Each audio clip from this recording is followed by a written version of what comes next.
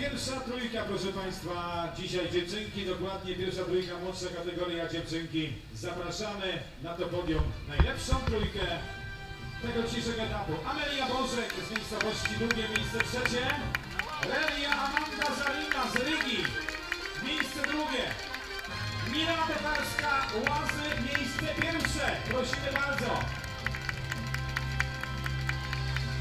Milanka, wczoraj w Katowicach, dzisiaj w Nowym Sączu. Ale ja już mówiłem prezesowi z Karolowi, aby sobie gdzieś w notesie zapisał to nazwisko.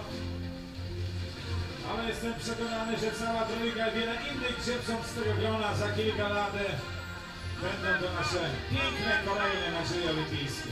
Przypominam, wykonuje wiceprezydent miasta Nowego Sącza Wojtek Wieke, Agata Lange, dyrektor Macia Szasta i nasi przyjaciele z Ferrero, Łukasz i Iza.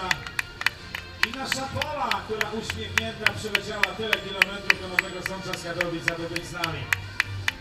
I teraz brawa, i teraz fanfary. Milena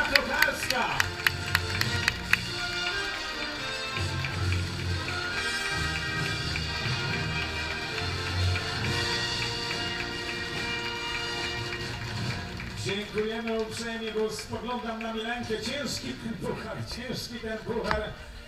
Aż gdzieś tam wolniutko jej z rączek wyskakiwał, a my za chwilę, ponieważ teraz musimy te wszystkie pakunki, a proszę zobaczcie tutaj na tą malutką, wspaniałą relię Zariny, która z flagą również swojego kraju.